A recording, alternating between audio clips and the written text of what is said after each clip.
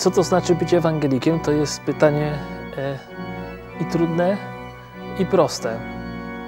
Co znaczy dla mnie? No dla mnie znaczy być, być przede wszystkim człowiekiem naprawdę wolnym, który odnalazł tak jak nasz reformator przed laty wolność z Ewangelii, że, że z tego wypływa wszystko, co jest po prostu absolutną wolnością.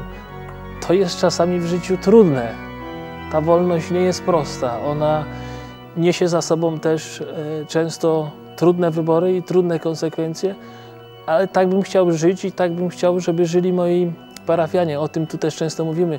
Pan Jezus nie zrobił nic innego, jak przyniósł tym ludziom wolność wtedy.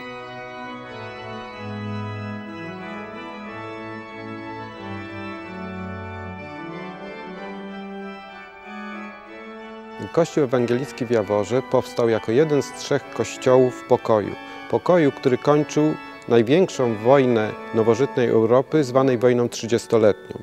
Zaczęła się w 1618, skończyła się w 1648 roku.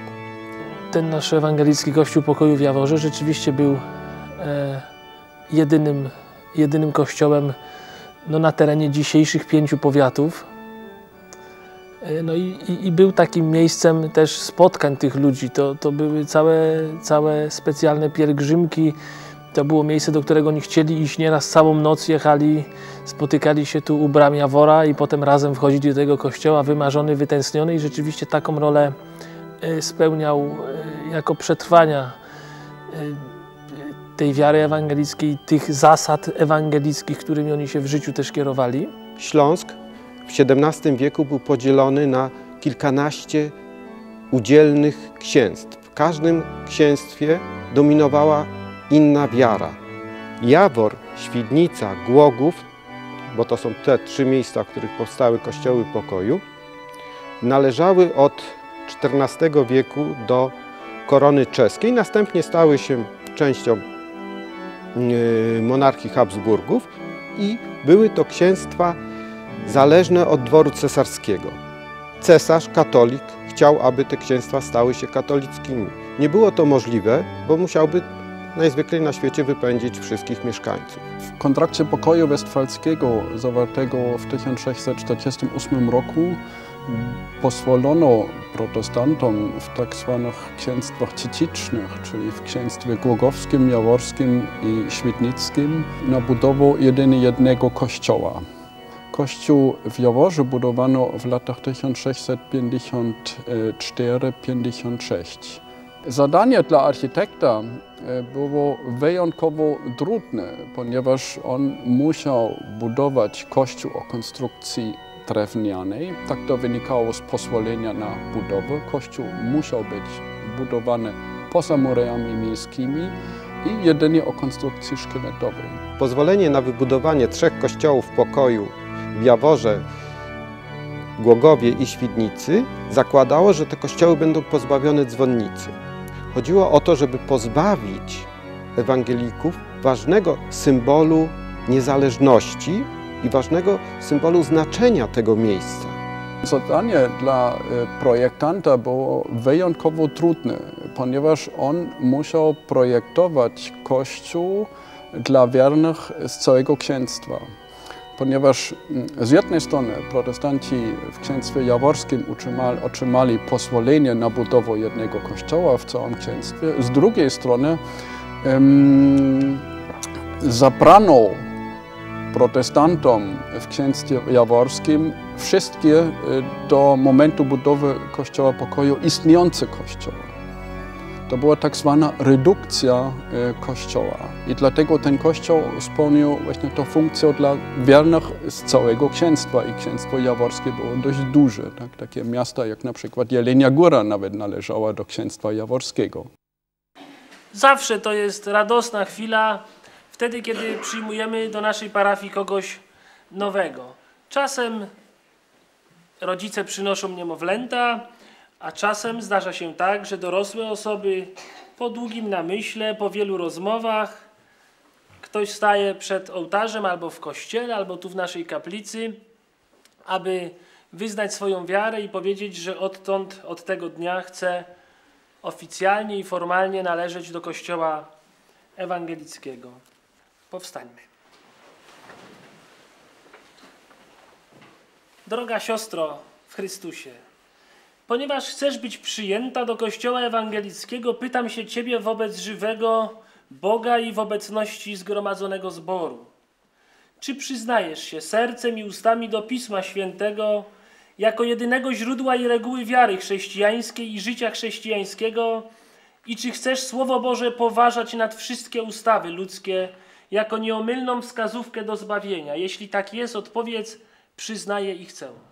Przyznaję i chcę. Na potwierdzenie przyrzeczenia swojego podaj mi prawą rękę. Na takie wyznanie i takie przyrzeczenie przyjmuję Cię jako powołany sługa Kościoła Ewangelickiego do społeczności tegoż Kościoła w imię Ojca i Syna i Ducha Świętego. Amen.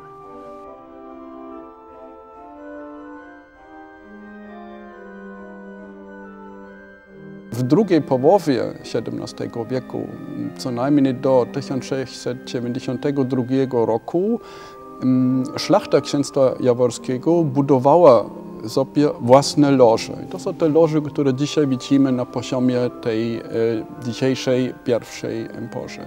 Nieco później, od końca XVII do połowy XVIII wieku, kolejne rodziny szlacheckie, ale i też cechy miasta Jawora i nie tylko Jawora wbudowały sobie loże między pierwotną pierwszą i trzecią emporą, czyli na poziomie dzisiejszej trzeciej empory. To są przede wszystkim loże albo rodzin szlacheckich, albo cech miasta e, Jawora lub innych miast.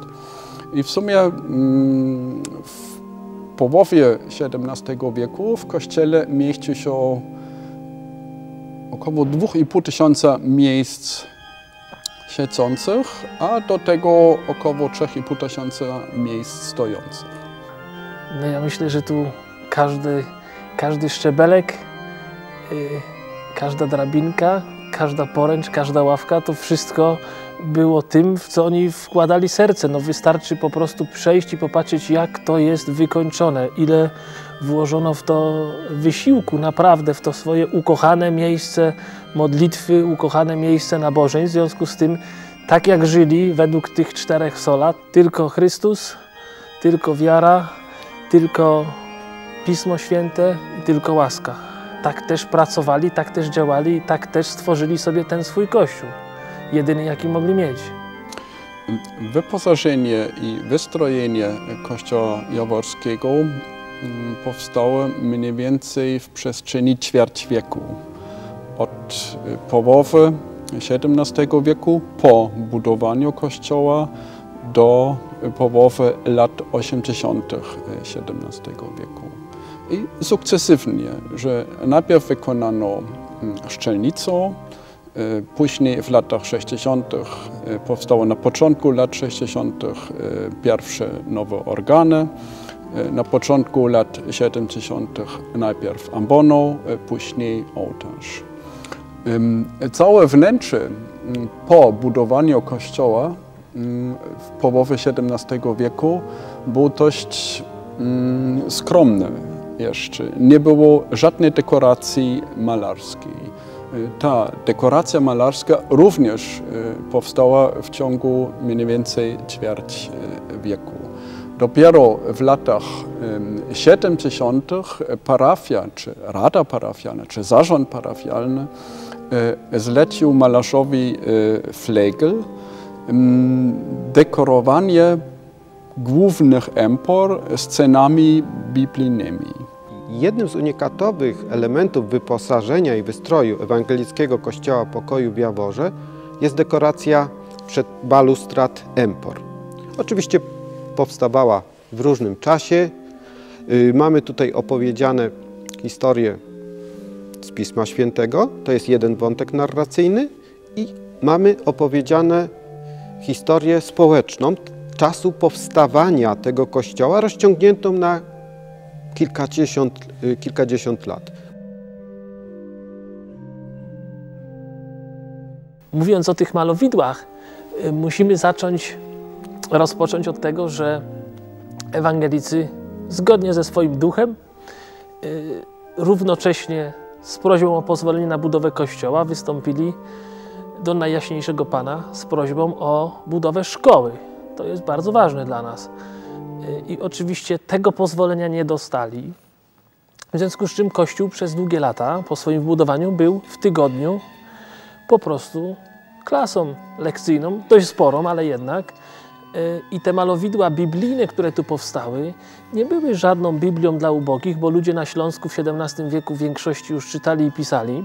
Nie musieli pisma obrazkowego sobie tutaj serwować, tylko to były pomoce naukowe biblijnych historii i, i, i mamy tutaj całość, mamy komplet. Rozpoczyna się to od trzech malowideł raju, tego praraju Adama i Ewy symbolicznych i kończy się na sądzie ostatecznym. Ostatni, ostatnie malowidło jest malowidłem sądu ostatecznego, także od początku do końca wszystko się tu zamyka w tych 143 malowidłach biblijnych. Większość y, ludzi mieszkających w Polsce jest przekonanych, że Kościół ewangelicki musi być we wnętrzu skromny, biały, wręcz chłodny. Y, to jest nieprawdą, tak nigdy nie było, przynajmniej na Śląsku. Sztuka śląskiej reformacji, bo taki y, można mówić, ten kościół jest chyba najwspanialszym przykładem y, tego nurtu artystycznego, razem ze Świdnickim, jest przebogata. Przebogata, jeżeli chodzi o barwę, przebogata, jeżeli chodzi o użyte elementy ekspresji artystycznej. Ewangelicy mieszkający na Śląsku nie przejęli wzorów obcych, tylko zastosowali to, czym żyli. Ta sztuka wyrosła z lokalnych tradycji artystycznych, z tego, co tu istniało od wieków. Ewangelicy na Śląsku zrobili jeszcze jedną rzecz, o której się y, często ktoś nie pamięta. Nie byli ikonoklastami, nie walczyli z obrazami. Nie miały tutaj miejsca takie y, ekscesy, jak się zdarzyło chociażby w Holandii, gdzie, gdzie, gdzie Kalwini y, pozbawili kościoły wystroju, uznając, że to jest kult bałwanów. Nie, tu zachowano średniowieczne ołtarze, być może dlatego, że po prostu wiernym się podobały. Były to rzeczy, które, dzieła sztuki, które ufundowali no, przodkowie. To dlaczego mam coś, co mój ojciec, mój dziad ufundował, czy no, w znaczeniu społecznym oczywiście, a czasami bezpośrednim, mam to niszczyć. To jest moje. Kościół Pokoju w Jaworze powstał jako kościół luterański y, i takim był do historycznej Unii, potem był kościołem unijnym, ewangelicko-unijnym. Tak było w Prusach i później w Niemczech. Y, a od, a od końca II wojny światowej jest znów kościołem ewangelicko-augsburskim, czyli luterańskim.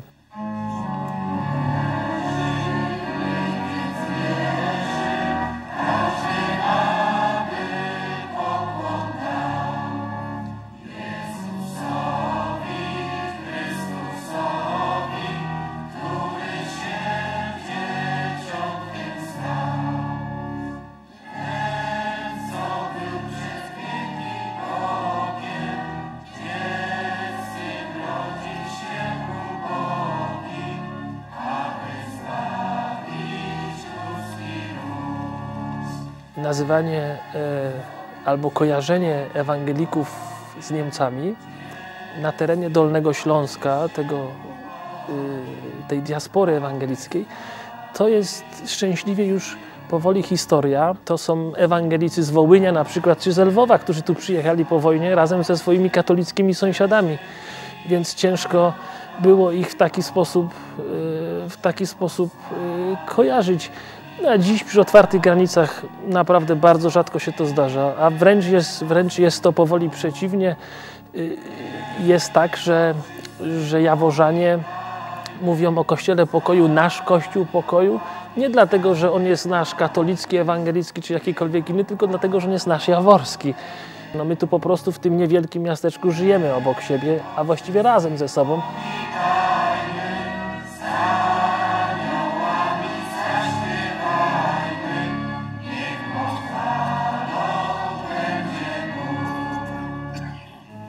Ten kościół ma swoją muzykę. Y, Można w nim y, siąść i po prostu, i tak jak w każdym dziele, y, w miejscu, w którym no, czuje się historię, to się słyszy. To naj, najzwyklej na świecie tu należy przyjść, siąść w ławce. No oczywiście może być chłodno, może być ciepło, raczej ciepło nie bywa. I jak y, słychać, jak te belki trochę tak zaczną trzeszczeć, jak słońce przechodzi przez y, okna, to, to nie chciałbym tutaj uciekać w jakąś tanią mistykę, ale to naprawdę jest wnętrze, które czuje się, że tu ludzie przychodzili po to, żeby się modlić. I i jest tutaj y, już pewne rytuały mamy takie. Ja z moim kościołem. Y, Lato, 5.30 rano i wpadające słońce przez, przez te szczególne witraże, y, no czuję się tu pewne, y, pewne misterium, które się rozgrywa między naturą a tym miejscem.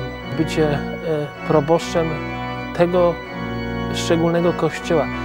Dla mnie tym bardziej ważne, że przecież jestem Ślązakiem, jestem stąd. Jestem od wielu pokoleń z Wrocławia.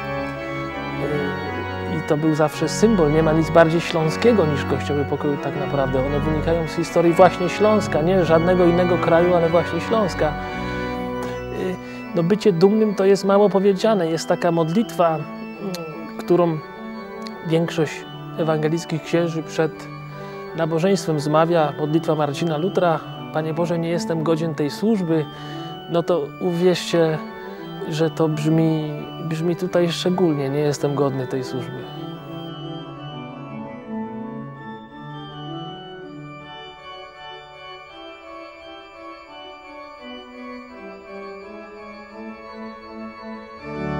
Kościół już u swojego zarania mimo tych tak trudnych ekumenicznie czasów, y, był miejscem ekumenicznym, ponieważ mamy świadectwa, że, że em, sąsiedzi ewangelicy i katolicy razem budowali ten kościół.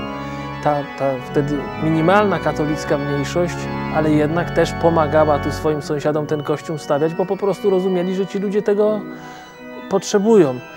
I potem przez całe wieki y, historia różnie tu się toczyła. Najtrudniejszy okres, i wiemy o tym, to jest ten okres po II wojnie światowej, jaki tutaj nastał, i to też w tym aspekcie ekumenicznym nie był to najlepszy czas. Y, Kiedy chyba trochę też władza jednych przeciwko drugim nastawiała. Natomiast dzisiaj no, Kościół jest jak najbardziej miejscem ekumenicznym. Kościół jest oczywiście niezmiennie miejscem nabożeństw i to jest dla całej naszej parafii punkt centralny całego tygodnia naszej działalności. I, I to jest jego pierwsza, najważniejsza funkcja, ale oczywiście dziś już nie jedyna. Kościół jest miejscem spotkań tysięcy turystów z całego świata. Kościół jest miejscem koncertów. Kościół jest miejscem przedstawień.